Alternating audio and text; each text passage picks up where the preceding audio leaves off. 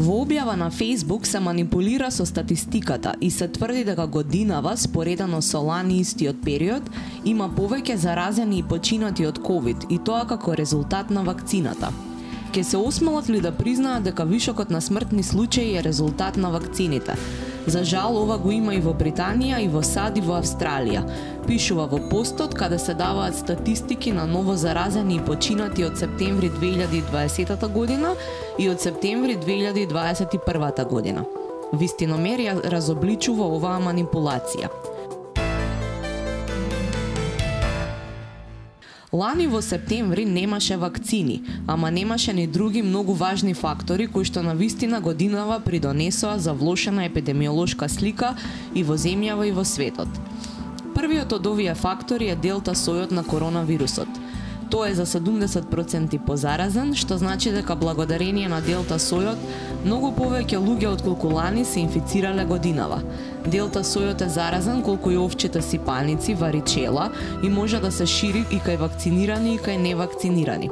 Центарот за контрола и превенција на болести на САД, за разлика од постот кој го рецензираме, токму вакцината ја посочува како најдобра одбрана против делта варијантата, која што годинава доведе до поголем број заразени и починати, споредено со лани. Освен тоа, статистиките на Министерството за здравство покажуваат дека во земјава, во општините каде што има низок опфат на вакцинација, има и повисок процент на хоспитализации и смртни исходи. Доколку беше вистина дека починатите се резултат на вакцината, тоа немаше да биде така. Напротив, тешката клиничка слика е најзастапена кај невакцинираните. Ситуацијата помеѓу септември 2020 година и септември 2021 година е различна и според мерките кои беа воведени од владата, како дел од протоколите за заштита на населението од заразување со коронавирусот. Градинките лани не работеа до 9 септември, а учебната година започна во октомври. Годинава пак со физичко присуство се изучува во основните и средните училишта. Лани, со цел да се спречи ширењето на вирусот, на сила беше забрана за организација на свадби и други прослави, што годинава не беше така. Цело лето се одржуваа свадби, се патуваше во земјава и надвор од неа, без на границите да се приложи негативен PCR тест или потврда за вакцинација.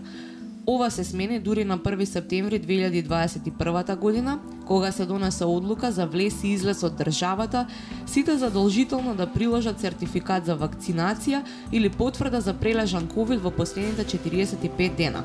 Но, како што напоменавме, овие мерки почнаа да важат од септември, а бројките на заболени и починати што ги гледаме во септември се резултат на олабавените мерки кои беа на сила цело лето, како и на летната туристичка сезона и се разбира, како што споменавме, резултат се на позаразниот делта сој на коронавирусот кој во 2020 го немаше. И Министерството за здравство потенцираше дека 77% од новите случаи и 79% од хоспитализираните со COVID-19 се невакцинирани. Според овие податоци кои ги дава Министерството, 85% од починатите не примиле вакцина. Поради овие факти, сосема е неможно смртноста да била резултат на вакцината. Најголем дел од починатите воопшто не ја примиле. Со гледање на пошироката слика и замајќи го предвид контекстот на презентираните бројки, никако не може да се изведе заклучок дека вакцините се виновни за бројот на заболени и починати.